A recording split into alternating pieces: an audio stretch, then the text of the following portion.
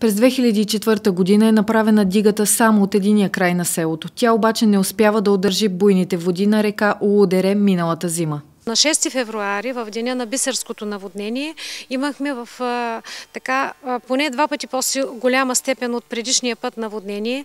Дигата беше скъсана тук до моста и съответно в началото на селото там до мандрата. За лято беше цялото поле това тук от лявата страна. В същия момент и къщите от тая страна. Около 60 къщи бяха заляти. Вътре в самите къщи водата беше проникнала на височина около метър, метър и 20. Съответно, общината беше сезирана от мене веднага още на 6 а, Идвахме тук, беше изпратена комисия, обходиха са къщите, но хората не получиха някаква съществена помощ. Част от дрехите и обувките, които социалните носят в селото, още са в кметския кабинет, защото хората се нуждаят от подслон, а не от нови облекла. След като става ясно, че помощ от държавата няма да има, кметът на селото с помощта на частни фирми купува 6 тона цимент. С тях укрепват поне малко порутените от водната стихия къщи, а хората от селото сами изчистват коритото на реката бяха изпратени количествено-стойностни сметки за а, стойността на разрушените диги от господин Златимир Желев, който е ресорен кмет по тия проблеми в общината.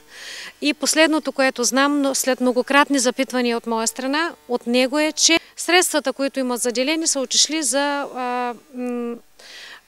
земетресението в Перник. И няма да има средства за възстановяване на дигите.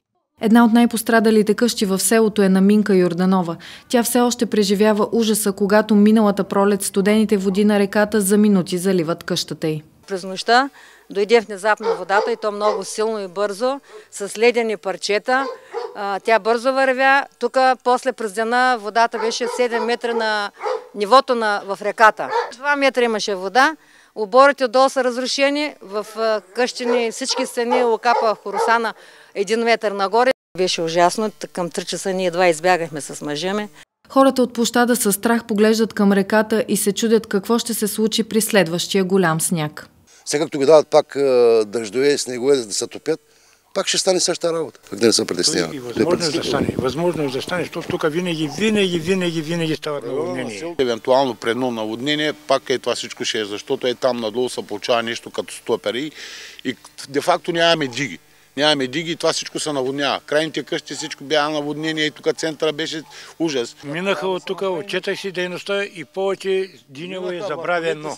Диневци недоумяват нехайството на институциите и се чудят дали тук трябваше да има смъртни случаи като в Бисер, за да се заинтересоват държавниците повече от съдбата на 700-те жители на село Динево.